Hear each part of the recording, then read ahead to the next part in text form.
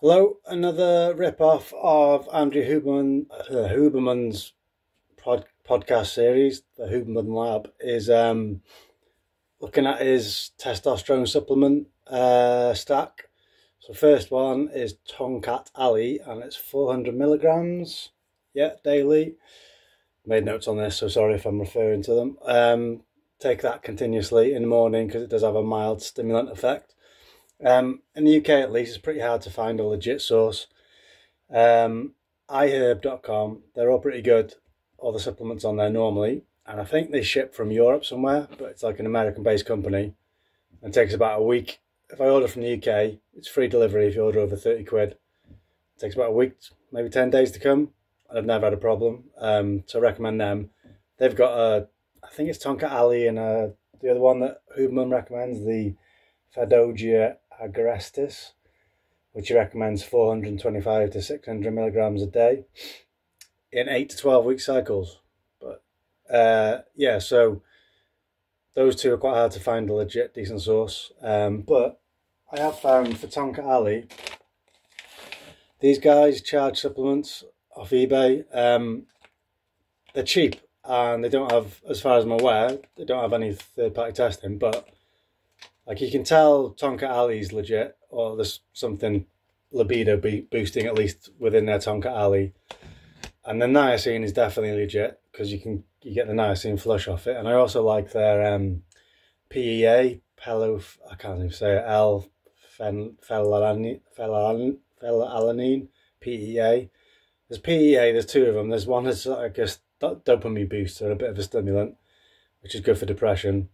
And there's another one, PEA, which is a strong anti-inflammatory. Um, yeah, the the first one, the one that's a stimulant there, is seems legit and it's uh, it seems good. So yeah, charge supplements I recommend from my own experience. They seem pretty good. Um, so those, oh, and zinc picol picolinate, uh, 15 milligrams a day is recommendations, and boron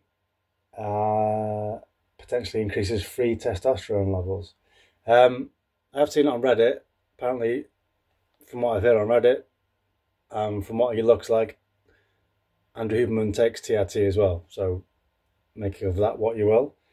Uh, and on top of this, so I asked, uh, did a bit of research on consensus.app and a few other websites about what other products have or supplements or herbs have research behind them suggesting they increase your own endogenous testosterone. So obviously you can get TRT, and that's like an external exogenous uh, form of testosterone.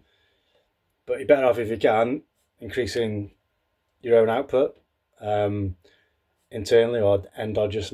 They call it endogenous just to make it sound posh. Um, so yeah, other things that could do that: Turk testosterone is a plant-derived compound, promotes lean muscle growth, growth even. Uh, human trials are scarce though, so have a look at that. I think that's I haven't I think I used that once or twice. Um, but D-aspartic acid is pretty cheap, and uh, you get like a massive bag, and that seems to to do the trick pretty good, especially in terms of like energy and libido. Uh, I haven't had my testosterone levels checked, so I don't know. But uh, and yeah, like people usually do it like in short term, like take three to six uh, grams a day for about ten days, and then have ten days off and do it again. But to be honest, I take like probably two grams a day, and it seems to do the trick. Uh, other potential ones, you've got ashwagandha, um, may increase in testosterone and reduce cortisol. Uh, can in interfere with your thyroid function apparently, so just keep an eye on that with ashwagandha. Vitamin D3, and magnesium and zinc. And creatine, uh, not a direct testosterone booster, it may increase DHT slightly and supports, definitely supports muscle and strength gain. It's also good for cognitive function as well. Um, so yeah, so the main ones off the man himself were Tongkat Ali, 400 milligrams a day, Fadogia agrestis, Fad OGI. Uh, I'll put a link in description to that one.